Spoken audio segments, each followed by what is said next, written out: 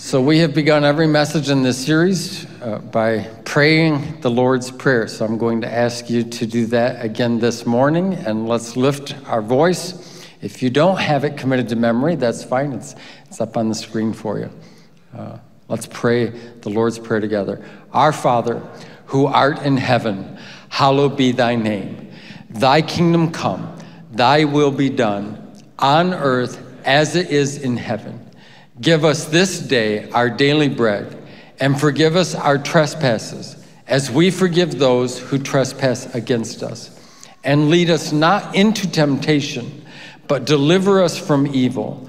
For thine is the kingdom, and the power, and the glory forever and ever. Amen. The message that I'm uh, talking about today is actually, I originally planned for next uh, Sunday. And I've taken it out of order because there have been some things that have been happening in national news that have provided an incredible opportunity for us to be able to think about how we pray about such things. I think a lot of people, when they see things that happen in places like Haiti or Afghanistan, they assume that they don't have any influence on anything that happens outside of their house or the place that they work or the neighborhood that they live in. Lots of people assume that there's not even any spiritual responsibility to anything outside of what we walk in and out of on a daily basis. Consequently, we only see what our culture and the media present to us.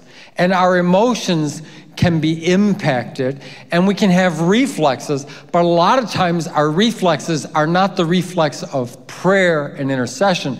A lot of times our reflexes are just a shaking of the head, a concern about something, uh, maybe even feeling bad, but not really knowing if there's any action to take.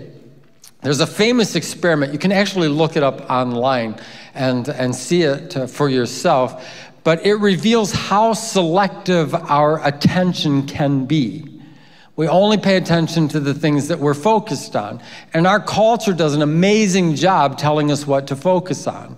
The media does an amazing job telling us what to focus on. So the experiment goes like this they take people and they have them watch a screen, and on the screen is a basketball team that comes out on a basketball court and they pass the ball back and forth to each other. It's a passing drill. And the people who are watching the screen are told, I want you to count the number of passes that are made between the basketball players. And when they get done with that, they ask them for the number. Most people get it right, and they give the number of the number of passes, and then they ask them, Did you see the gorilla? And people go, What gorilla? And they play the video back, and when they play the video back in the middle, it's not like just something off to the side while the ball is being passed back and forth, a person in a gorilla suit walks into the middle of the basketball court, looks directly at the camera, pounds its chest several times, and storms off the court. And 50% of all people who watched the video never saw him. Now, I know everyone in this room would be in the 50% who would have seen him. But you can actually look that up. At least 50% who participated in the experiment didn't see the gorilla. Our culture is very good at calling attention to specific things, but I wonder what we're missing with our selective attention. This is what it says in Matthew 26, beginning in verse 40. Jesus returned to his disciples. He found them sleeping. Couldn't you men keep watch with me for one hour? He asked Peter. Watch and pray. Watch and pray. Watch and pray so that you will not fall into temptation. The spirit is willing, it's the flesh that is weak. How we speak reveals what we see. Our tendency is to talk about the things that we have seen. When it comes to spiritual things, there are a number of people who don't notice some things that are happening right in front of them. We're like the 50% who didn't see the gorilla because we're focused on other things. How do you know that that's true? Because of what people say. You can tell what people aren't seeing and what they are seeing by what they're saying. What you see determines what you say. If we sound like everything else in culture, it's because we're only seeing what they're pointing to us. And as, as people of God's kingdom, we're actually called to see something different and say something different in our world. And so many believers fall into the trap of just repeating what we've seen on our favorite channels, on our favorite media outlets, on our favorite personalities. There is an opportunity to see something that others are not seeing and say something that others are not saying. And as it turns out, that has a huge influence in the world in which we live. A spiritual perspective is more than a different opinion. This is not asking you to have a different opinion about things. It isn't just a different opinion about the events that are going on in our world around us. It isn't just seeing something through rose colored glasses. You just need a more positive attitude. Just, just do that. That's not what it's about. It's, it's more about seeing what is less obvious, but it's there. And when we say something about it, it makes a difference. For example, there are some things you can't see in darkness. We are called to be a light in the darkness. That's what Jesus tells us we are. So I understand there's some things we can't see in the dark world, but we're not just walking in darkness, we're supposed to be a light in the darkness. And it isn't so much about exposing things that are going on because some followers of Christ consider that their full time job. It's more about revealing what's happening in the world around us. It's not just identifying what's at risk, which people are really good at, it's also being able to sense what is possible. Uh, when I was a kid, uh, I, I, got a piece of metal in my eye, and they had to put uh, uh, some medication in it and they had to let it heal and they didn't want it to get scratched, so they put a patch over my eye and I ran around with that for a little while. And what I will tell you is, I discovered that uh, your depth perception is considerably compromised when you only have one eye. If you don't believe me, you can try it for a day and see how many things you walk into unintentionally. Uh, it just happens. Uh, we're supposed to have a spiritual insight to our world and there's a kind of depth perception we lose when we don't see through that eye. So Jesus had a recommendation in his conversation with his followers. And what he says is this keep your eyes open. Keep your eyes open. Watch. When, when he says the word watch, what he means is be alert. Pay attention to what is going on around you. And then he says this keep an open dialogue with, with God. Keep the conversation going with God. Watch and pray. Start a conversation with God so that you can understand what's going on and you can understand how to respond to it. A lot of times we assume we know how to pray about something. And, and Romans actually tells us, Paul, when he wrote to the Roman church, he tells us this we often don't know how to pray as we ought. But you can actually ask God for assistance, and he will give you insight to things you didn't notice before, and it will help form how you talk or pray about those things in your conversations with him. So here's an experiment. I'm gonna, I'm gonna, a little challenge I'm gonna put out to you. Let's see how many take it up, all right? Here's the challenge make a commitment this week. I will not talk to someone about what I have seen in the news or on social media until I've talked to God about it first. Do you think that might impact anybody's posting? I'm pretty sure. Uh, Jesus saw differently than everyone else, and he said different things than everyone else. And that's why, even if you don't believe he's the Son of God, you cannot avoid the impact he's had on our world and our cultures. You cannot deny that. In Matthew 7, this is what he says. He says, You think you can see the little speck in someone else's eye, and you don't see the huge plank that's in your own eye. He could, he could see that. Uh, it's so easy to, to look at life from a judgmental perspective, but that's just self righteousness. That's all that is. And it's so easy to be able to find faults in others without ever noticing anything about our own shortcomings. In Matthew 14, the disciples were looking at the size of the crowd and the little bit of food they had. And they were panicking because Jesus has said, We need to feed this crowd. And they said, we, we, No, that's not an option. It's not possible. Send them home. And Jesus didn't look at the crowd and he didn't look at the food. The Bible says in Matthew 14, he looked to heaven and he saw something different. And the result is an entire multitude got fed. When Jesus looked at a herd of sheep, he didn't just see the 99 that were safe in the fold, he saw the one who wandered away. When Jesus looked at a rich young ruler who looks as though he has everything he needs in life, he noticed the one thing that he was still lacking. When Jesus looked at, the, at, at humanity, he said they're like fields who are ripe for harvest. The disciples could see hard times, Jesus could see harvest time. It makes a big difference what we see. When Jesus, this is what Jesus said He said, I only say the things that God tells me to say, his Father tells him to say, and I only do the things that he shows me. He was seeing something differently. We do not naturally see what God sees, and that is why we do not naturally say what God says. And our world desperately needs to hear those words. Uh, we see headlines. And, and uh, I'm not after, I'm not hunting anybody down, so if you feel uh, pinched a little bit right now, just consider that maybe some conviction of the Holy Spirit, okay? Um, we'll see a headline in the newspaper, and we may wonder how that will affect our political party and whether it will help our favorite team win or lose an election. Um, and people will actually say things like, well, if that person is elected, our country will be lost. They're, they're basing that on what they see.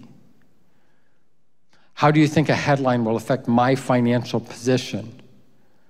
If I lose money, I may lose my security. Or uh, maybe how will a lack of a job. You will see some information about jobs and, and unemployment. I wonder how that's going to affect me. And then we're worried we may lose our identity because we're not able to do the thing that we are trained to do or that we enjoy doing. Could it be, could it be that we're just simply not seeing what God sees? And that's why we're not saying what God says. Could it be that we're looking at lesser things for our identity and our security and our prosperity? It's a, it's a form of spiritual nearsightedness. And it's revealed by our language. The absence of alertness and conversations with God make us susceptible to temptation. Jesus says, Watch and pray so you won't fall into temptation. When pressure is increasing, we will be tempted to flee, to escape. When pressure is increasing, we will be tempted to hide the truth or lie about the truth. When pressure is increasing, we will be tempted to remain silent when saying something could actually help make a difference. If you could see what your marriage could be, it will change how you talk to God. We look at our marriage and we just see how bad it is, and that, that kind of carries the conversation. And, and we, do, uh, we do a commentary. Uh, I, I, like watching football. I watched the Bills play uh, yesterday, and if you didn't see the game, spoiler alert, they did really, really well. And uh, if you've been a Bills fan as long as I have, those are really enjoyable occasions. And there are people who are commentating, and all they do is they talk about what they just saw someone do on the field.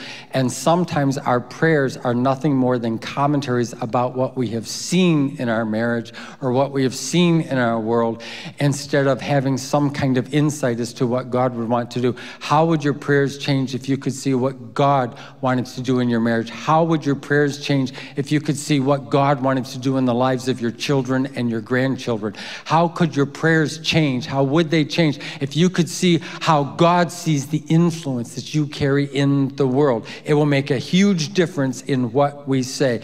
If we don't see it, our language betrays it. There's just things we won't say. And this isn't about superstitious things. Just don't say negative things so bad things won't happen. That's not what it's about. It's a call to open our eyes, to pay attention, to be alert to what God wants to show us so that when we say something, it's absolutely different than everything we're hearing in the world around us.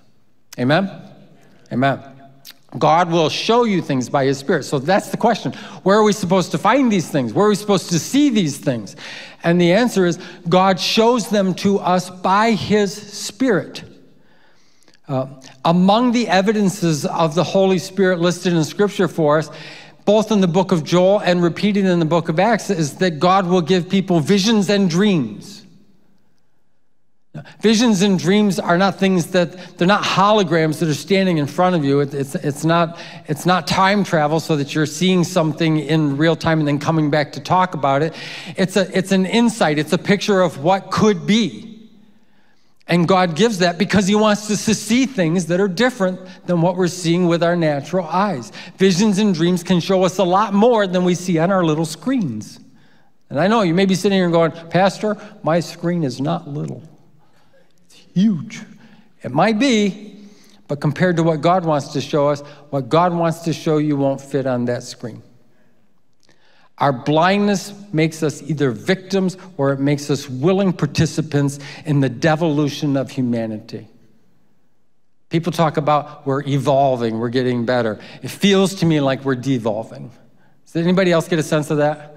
You know, a lot of people are complaining about a lot of things. There's reasons for that. And when temptation comes, we wind up falling for it simply because we don't have anything else at all we don't see anything else differently, and we don't say anything else differently. This is how Paul talked about it in 1 Corinthians chapter 2. These are the things God has revealed to us by his Spirit. These are the things God has revealed to us by His Spirit. The Spirit searches all things, even the deep things of God. For who knows a person's thoughts except their own spirit within them? In the same way, no one knows the thoughts of God except for the Spirit of God. What we have received is not the Spirit of the world, but the Spirit who is from God, so that we may understand what God has freely given us. This is what we speak. See? God shows us by His Spirit. This is what we speak. Not in words taught by human wisdom, but in words taught by the Spirit, explaining spiritual realities with Spirit taught words. The person without the Spirit does not accept things that come from the Spirit of God, but considers them foolishness, cannot understand them because they are discerned only through the Spirit. The person with the Spirit makes judgments. I'm going to come back to that word in just a minute. The person with the Spirit makes judgments about all things, but such a person is not subject to merely human judgments, for who has known the mind of the Lord so as to instruct him? But we, have the mind of Christ. When it talks about judgments, it's not talking about blaming. Looking for who's to blame will limit your prayer. Looking for what God will do will enrich your prayer. We're kind of built in to identify whose fault something is. And that actually won't help your prayer life very much. The person with the Spirit makes judgments. It's not about being judgmental. It's not about blaming others for what's wrong. It's, it's, and by the way, blaming others for what's wrong is not evidence of spiritual maturity. It's the first thing fallen humans do in Scripture. Right after they fell and they disobey God, the first thing they do is they start blaming other people. And every human sense has continued that kind of dialogue. We just find fault and point it out as though that's going to fix things. It's what humans do. Paul is referring to having discernment. He's referring to making evaluations. What forces are at work and what's going on in front of me? What's happening spiritually? What is God doing? Where is He active? Who is being negatively impacted? What options are necessary in order for things to improve? So here's a daily prayer that you could pray Heavenly Father, show me what you see and help me know how to pray. You want a really interesting prayer life? I know some people's prayer lives get boring. I want to ask you to raise your hand if, if, your, if your prayer life has ever been boring. I won't ask you to raise your hand if any message I've ever preached has ever been boring. I won't ask you to raise your hand if this message is boring. But you would be surprised what starts coming to your mind when you say, Heavenly Father, show me what you see and help me know how to pray.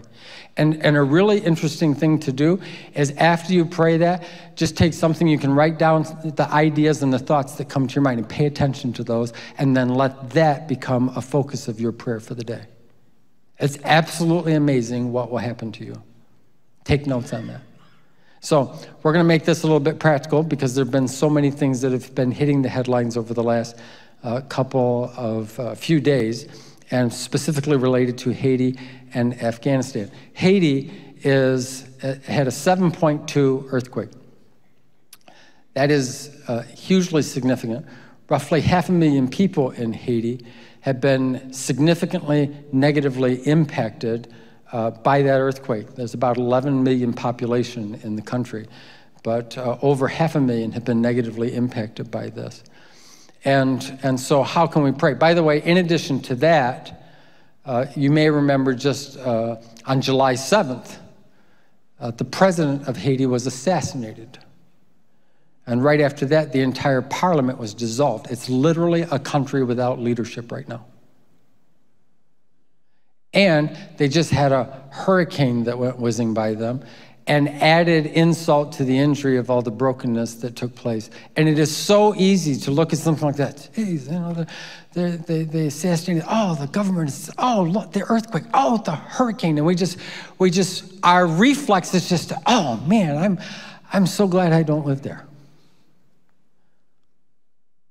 And that's all the world is really capable of showing us. But what could God show us? We could pray that there is an availability of emergency supplies. We could pray for, tech, for protection from additional hurricanes. I don't know if you think this is possible or not. I happen to think it's possible for God just to put his hand right down on a path of a hurricane and move it over a little bit so it doesn't go right over the top of Haiti and add all uh, kinds of destruction to the destruction they've already had. Does, it, does, anybody else in the room think that God's capable of something like that? I, I'm not saying we can control it, but how many know it's okay to ask God for it? And, and then we could pray for things like fair and equitable distribution of the resources that are available because without good leadership in the country, that can be a really difficult thing. And we can pray for redemptive communities to minister and serve people who have gone through incredible suffering and loss. Like there are churches, there are believers, there are pastors, there, there are people who are part of, they're followers of Christ, and they're everywhere located, dispersed all through Haiti. Wouldn't it be great if God God could use each and every one of them to make a difference in someone else's life. It makes a huge difference. We can pray that wise leadership will be given the opportunity to lead. We can pray for the protection of those leaders who are wise and who are humble. We can pray for the corruption that is existing in that country to be rooted out so that every dollar that's intended to help someone actually winds up helping someone. How many think that could all be good things to pray? How many think that might be better things to talk about than just saying, oh, jeez, I'm so glad I'm not those people? This is why we're here. We're not just observers of the news. We don't just have commentary on what our culture shows us. We invade the darkness and the brokenness of our world by seeing things other people are not seeing and saying things that other people are not saying. And that becomes the windows of opportunity for God's grace and power to flow into the most needed areas in our world. And you don't have to know anybody in Haiti to pray for somebody in Haiti. Does that make sense to anybody? Yeah. All right. Afghanistan. Oh, I mean, the, the whole government fell within days. And it, it's so easy to, to, to look at that and just be frustrated.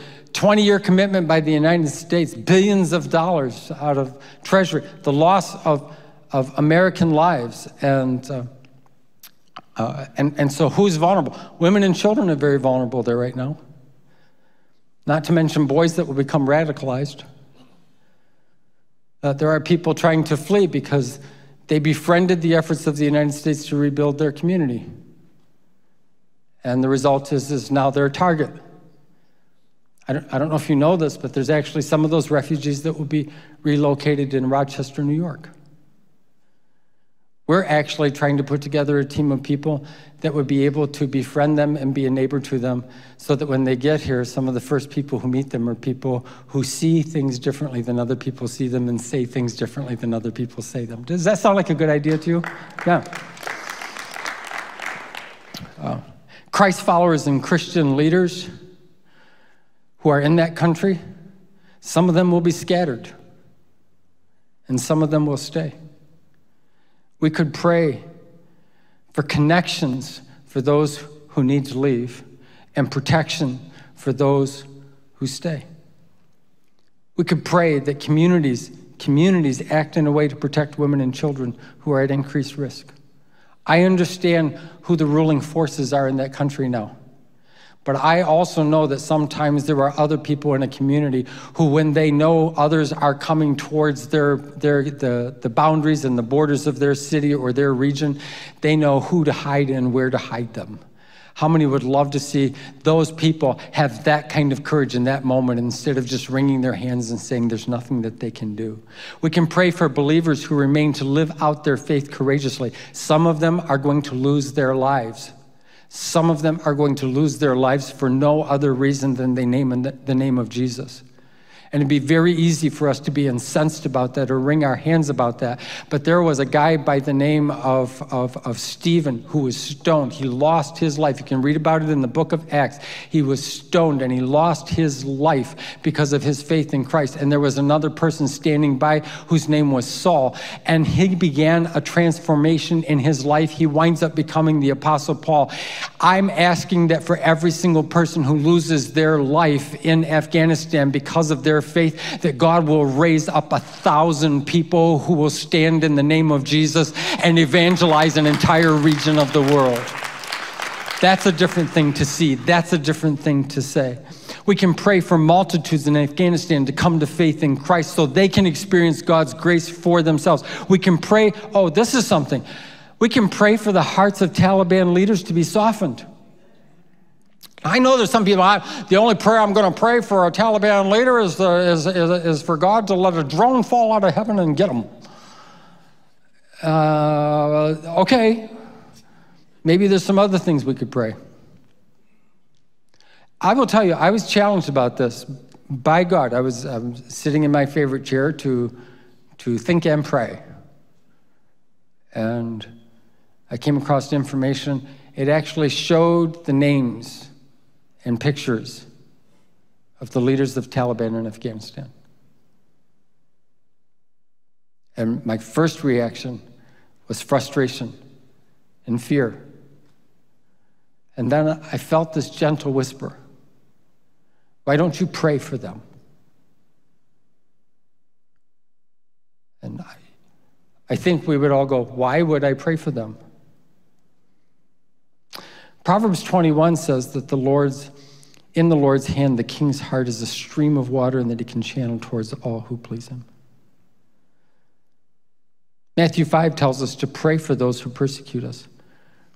1 Timothy 2 tells us, I urge you then, first of all, to, that petitions, prayers, intercession, and thanksgiving be made for all people, for kings, and all of those who are in authority. It didn't just say for the people you agree with who are in authority.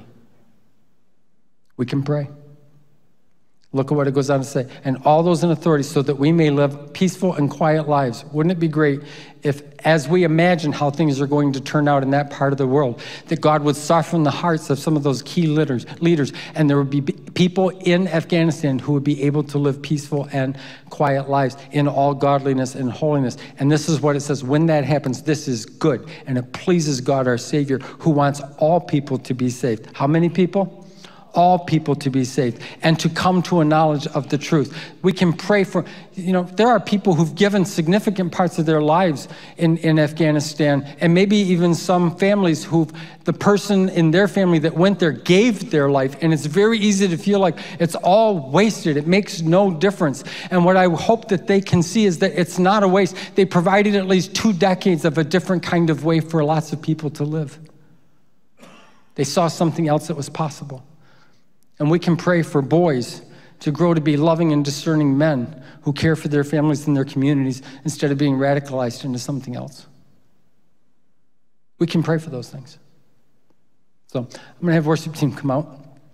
And um, it, the easiest thing for me to do right now is just go, so let's, let's call it a day and go home and, and, and try to do some of that when you get home. And that's not what we're going to do this morning. We're actually going to pray. We're going to say something different than you heard on the news or social media or in conversations at the diner with friends. We're going to say something different. And I'm going to ask you to make your prayer really simple. Um, it's not the complicated verbiage or how long we talk that moves heaven. It's the invitation of a heavenly to a heavenly Father just saying we need help. And I think you've shown me something. And so for me, I, I cannot get out of my mind seeing pictures of Taliban leaders and a, and a picture of what looks like the heart of the Father just reaching down and touching hearts and making them soft. It doesn't matter how they're dressed doesn't matter what language they speak. You've never met the person who's beyond the reach of a Heavenly Father. Wouldn't that be good? So, I'm going to ask us all to stand. And I'm going to ask you to speak loud enough for your own voice to hear. And we're going to have, I think there were about seven points of prayer for Haiti. We're going to start there. And then there were seven points of prayer for Afghanistan, and we'll go to there and I'll announce when we're making the shift. But here's what I want you to do just look up on the screen and say, pray for available emergency supplies. Like that, that's the first thing on the top of the screen. And so all, all you have to do, and, and I'm going to ask that we don't just stand and pray, our posture reveals something about how seriously we take a thing. And so I'm going to ask us to extend our hands towards heaven. And, and your prayer can be as simple as this Father, there are resources already released. Will you please make sure they get into the hands of people who desperately need them? And then right on to the next thing. Pray for protection of leaders who are wise and humble. You just pray, God, in a, in a place that, that is absence of leadership right now, raise people up. And it's all it has to be, just something as simple as that. And they're going to go back and forth uh, on the slides, but uh, so that you can see all seven things. And we're just going to take about a minute. So I'm not taking a long time. If you want to pray a long time, you can take this list home and and and pray for them there. But let's just lift our hands towards heaven you are seeing something different and you have the opportunity to say something different and it's going to have a huge impact in our world. So let's lift our voice right now and begin to pray for Haiti. Let's lift our voice. Call on God. Call out the need. Say it. Say it out loud.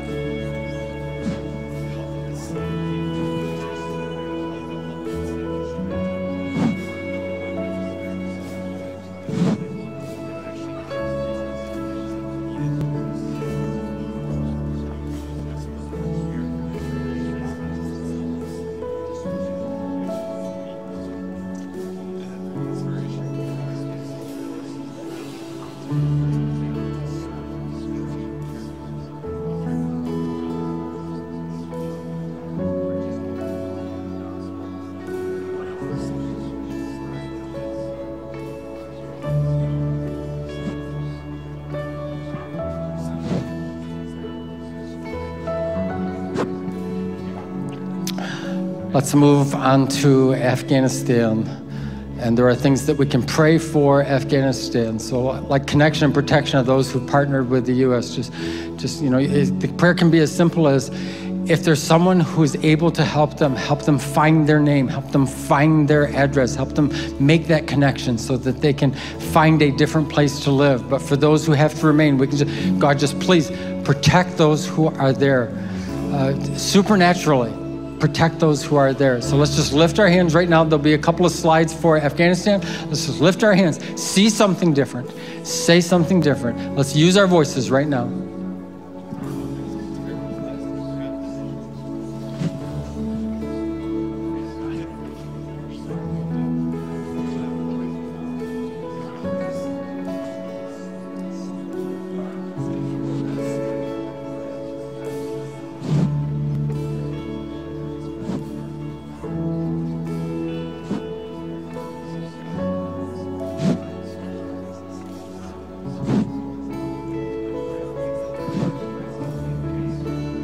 Now, while, while I was praying, I just wanted to say something different because I saw something different. What I saw was a Taliban leader who's been given great power and great responsibility. And I saw him sitting in a chair, and tears were running down his face. We never think of that, do we? We always see hardness and tears running down his face because he could see the vulnerable differently than he had seen them before. Here's what I want you to know if we will pray for people like that, it's entirely possible that God will help them see something different than they have ever seen, and now they will say something different than they have ever said. Father, we ask right now that your hand would move in Haiti, your hand would move in Afghanistan, and that you would be at work in lives and in organizations so that your name would be known. We ask this in Jesus' name. And everyone who agreed with those prayers said, Amen. Let's lift our voice in praise right now.